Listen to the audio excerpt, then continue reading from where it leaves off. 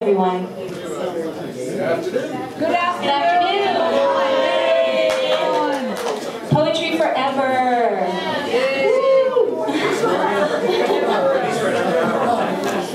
um, my name is Yvonne Blomer. You may have seen me already once or twice.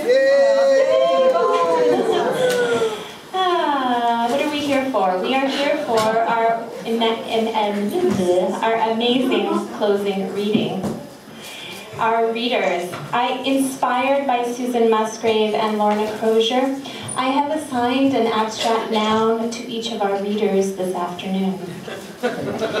In order, we have Paul Nelson, Mr. Exuberance. Yay, Paul! Because of his laugh. You laugh? There it is. Jay Ruzesky, where are you, Jay? Mr. Generosity. Sam Hamill, our man of wisdom. Yay, Sam! Rita Wong, our woman of healing and protection. Yay. And Robert Bringhurst, our man of knowledge.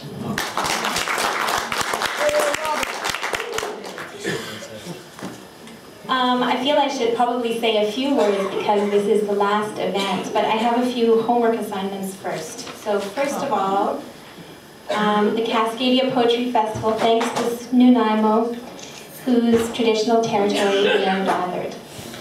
We also thank Vancouver Island University, not for their stairs, no, but for the wonderful location. Thank you to the, for the support of the VIU Faculty of the Arts and Humanities for their generous donation of financial assistance. Without money, these things don't happen. So thank you, VIU.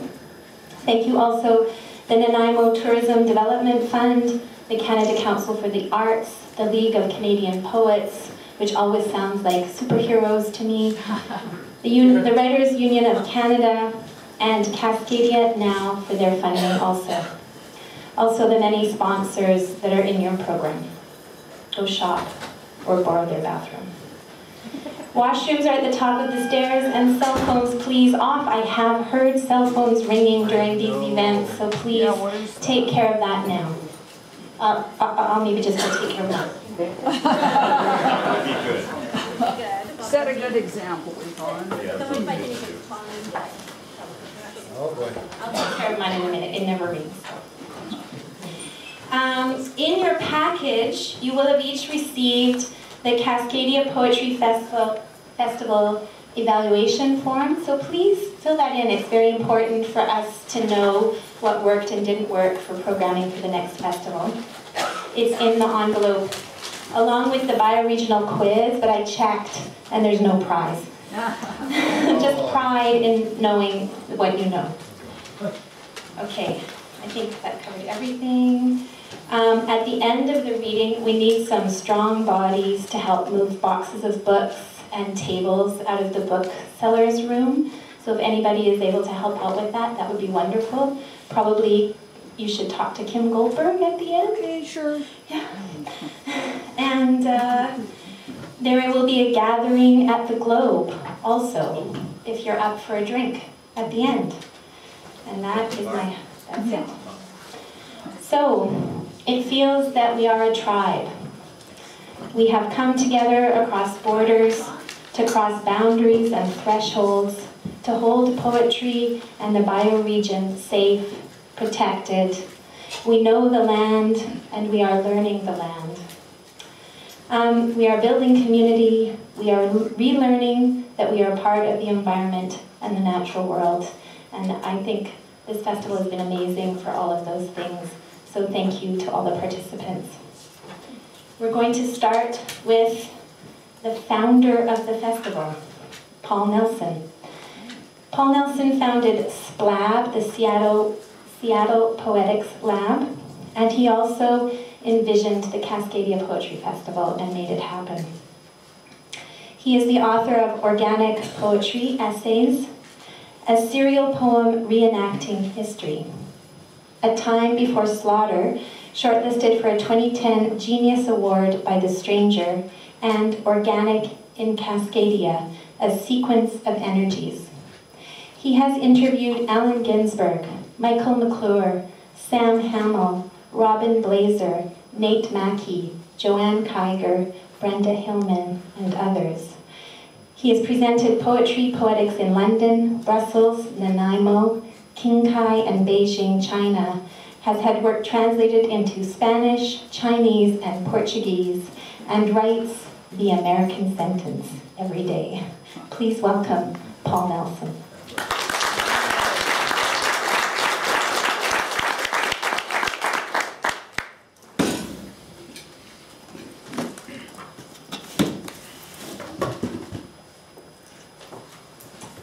Glad I, I get to go first because I don't want to go after the folks that are reading. I'm, I'm, uh, I'm in awe of the readers who follow, and I'm very grateful to be in their company. Um, I'm also in awe of the organizing abilities of this Nanaimo local organizing team. When they left Seattle,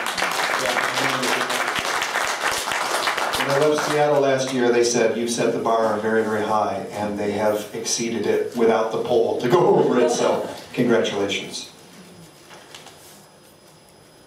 My father died a year ago, May 11th, and uh, I'd like to dedicate my portion of the reading to him, Paul Everett Nelson Sr. And uh, a song, part of a song that we attempted to sing at his grave about a year ago was one of his favorite songs, one I remember him singing when we were kids. You might know it. Mr. Mr. Johnny Rebeck, how could you be so mean? We told you you'd be sorry for inventing that machine. Now all the neighbors' cats and dogs will never more be seen. They've all been ground to sausages in Johnny Rebeck's machine. so this is only part of it. Google it. My dad, my, my aunt said that my dad changed after his older brothers died of diphtheria within five weeks of each other because his mom didn't want to take him to charity care in the hospital. So this is nine sonnets for Pop. Pop's in the hospital, a slight stroke we figure, but in allopathic terms, expressive aphasia. Speech difficult to initiate, non-fluent, labored and halting. Deficient intonation, stress patterns, and language reduced to disjointed words, and poor sentence construction.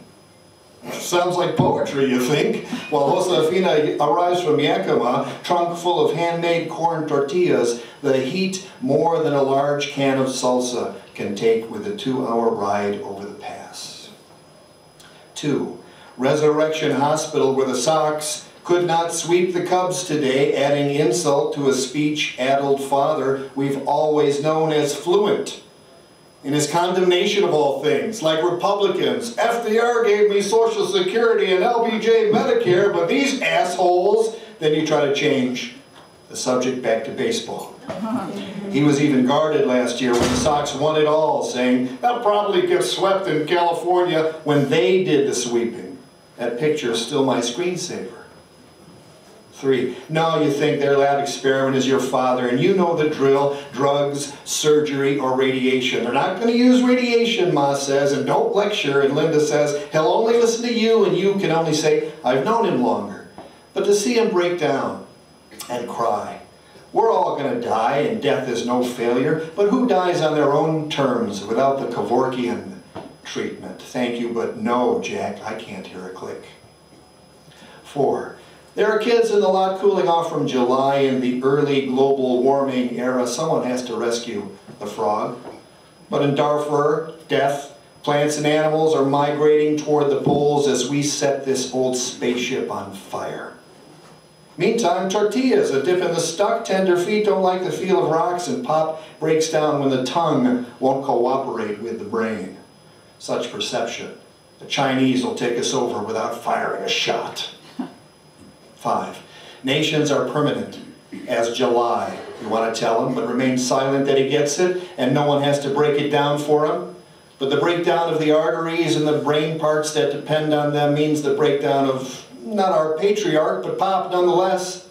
Crying at the hospital, and some part of that emotionally blocked bloodline bubbles up into consciousness, and yet you'll end up being the last.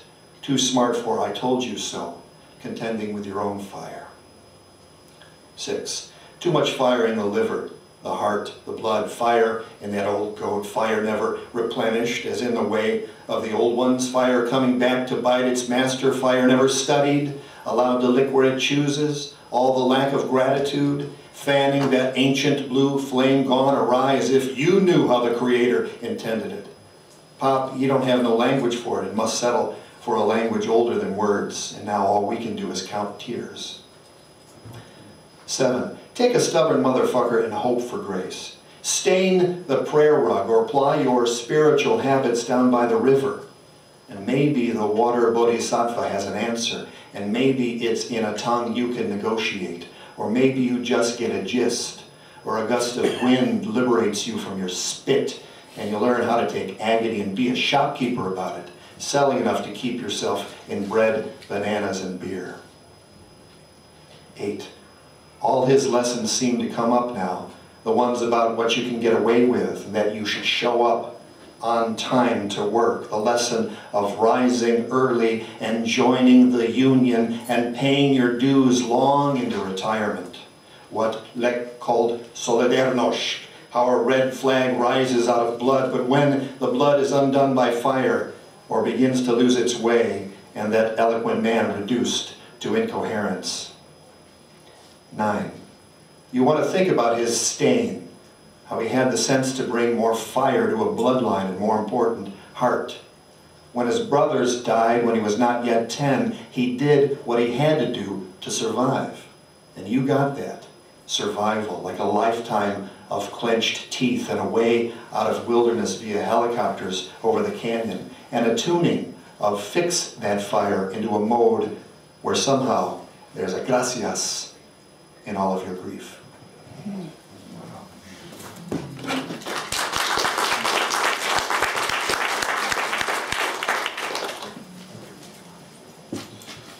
So a few American sentences, if I get my password right.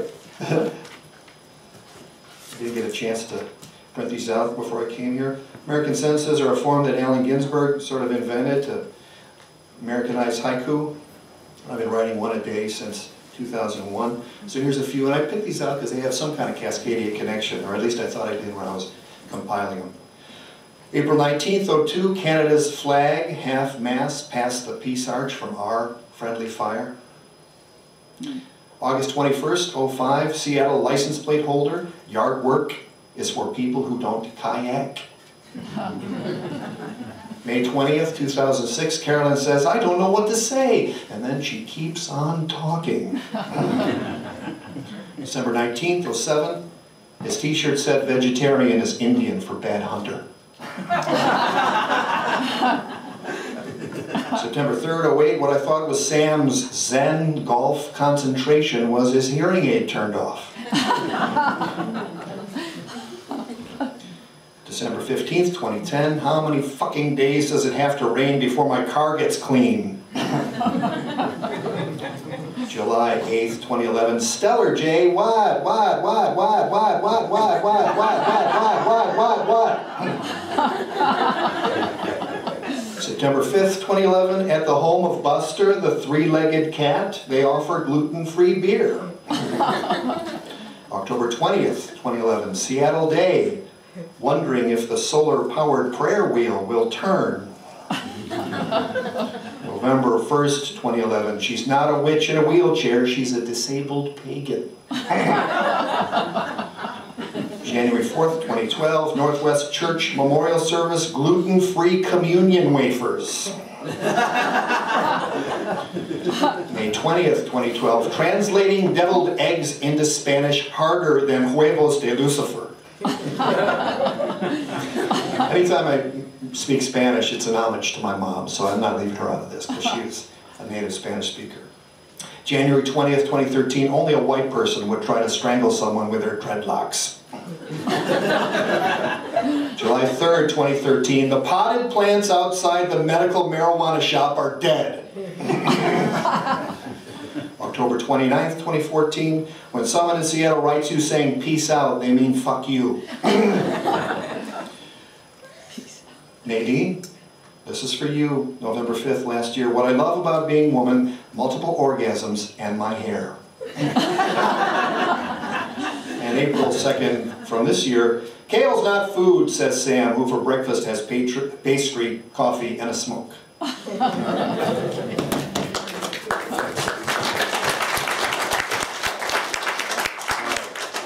And uh, this is from the, the work that I just completed, Pig War and Other Songs of Cascadia.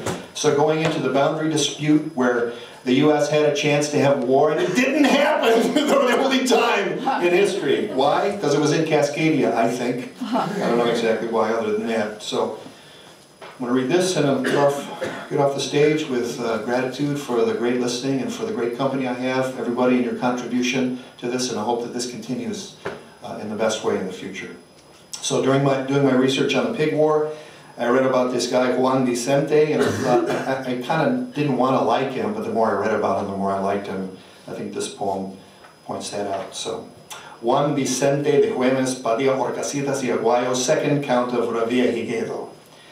Y who is this San Juan after whom the Islas de San Juan are named, and how did Spaniards get here? Who, why, how? Did the blood stop at one pig? How were the war pigs for once denied, denuded, divested of covering, made bare?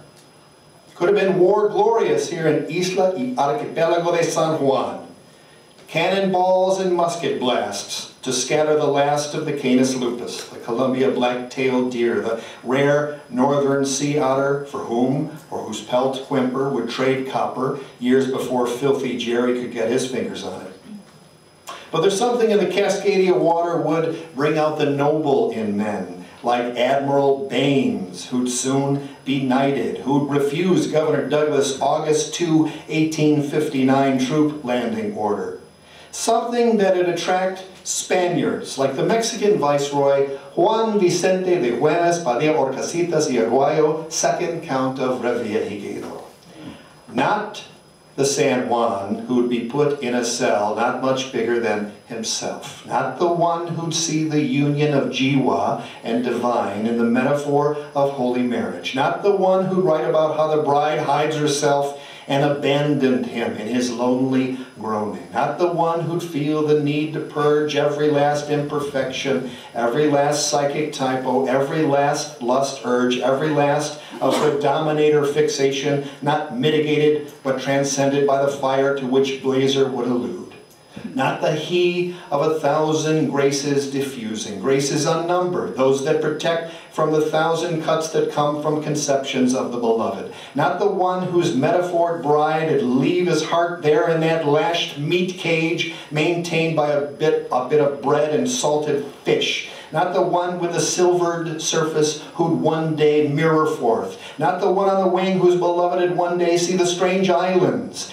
with the roaring torrents, cascade falls, and whose gales would whisper a moor, a love awakening south wind not spewed by Spetzics, who'd be the rain wind from the southwest, a two-day canoe journey south of the present scene. Not the one whose beloved bride from a mother corrupted would make a bed out of flowers, protected by lions, hung with purple and crowned with a thousand shields of gold. Not the one whose bride would attract young ones and who'd commence the flow of divine balsam and get him pitch drunk on fire and scent and spiced wine. Not he of all consuming painless fire drunk on pomegranate wine, whose only job was a amour. Not that San Juan. This one was a Cubano, born in La Habana, the third Criollo Viceroy of Hispania Nueva. This one would see the capital, then Veracruz, as a slum, peasants in thin robes, straw hats, trash in the streets in the first flash of all those res dogs to come. This one, El Vengador de la Justicia, he'd find and hang the outlaw gangs of murderers and clean the Viceroy's palace light the streets of Ciudad de Mexico, pave highways to Veracruz, Acapulco, Guadalajara, San Blas, y Toluca, find the Aztec calendar stone and set the heavens on fire, but found Cascadia not worth the troops. It had cost to own her, settled for leading the flock of 4.5 million future Mexicans. He'd count, and a few islands to this day, in one way or another, bear his name, San Juan, Orcas, Güemes, dots in a green landscape as seen from Constitution. where the divine balsam flows by the kayaks, and the wind whispers